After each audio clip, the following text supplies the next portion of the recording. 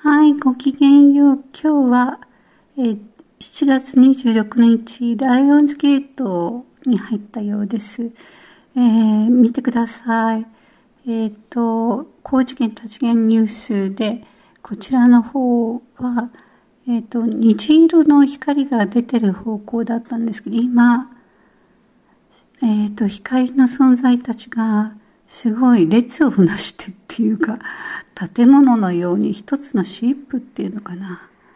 光の建物みたいな感じで今映ってるのが分かりますか？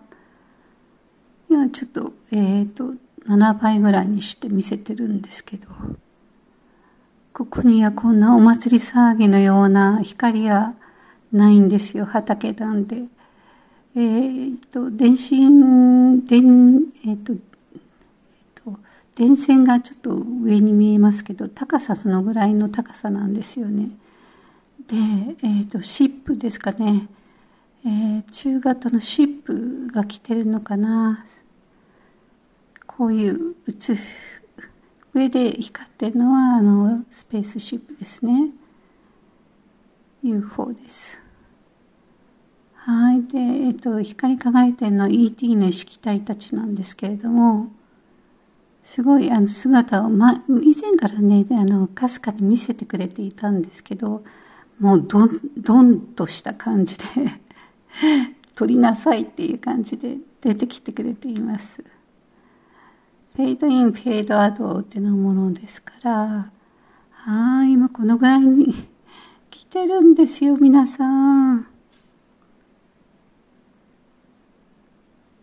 すごいエネルギーもね強くなっていてね昨日はちょっと体の方があの合わせるのにしんどかったんですけど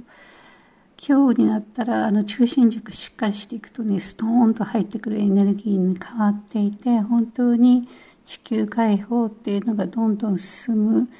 えー、ET たちがもう出てくるっていうねそういうことをエレナ・ダナンさんも今日あのえっ、ー、とお話フランス語でなんかお話をされていましたねお城のところで。人類の解放について。イヤがあのあなたたちを愛していますって私たちをですね。だからようやく地球人類は解放されたっていうことなんですよね。だから本当にあの多くの人たちにそういう宇宙の存在とか私たちが宇宙からの起源であるっていう部分をね広めていく必要があるっていうことをエレナさんおっしゃってました。はい。なので本当に楽しいね時期がやってきましたね時がやってきたんですよね。だからエンジョイしていけれるように皆様楽しいことを見つけてね、えー、いきましょう。はい。今日ね私事であの単純なんですけど前からスイカスイカ欲しいって無農薬の欲しいと思ってお店に行ったら たくさんありました。去年は見つからなかったんだけど今日はなんかあのそうたくさんあるスイカを味わう無農薬しかもね、えー、そういうのを食べれる機会ができてそれもすごく嬉しいことですね。小さな幸せ。が大きな幸せ、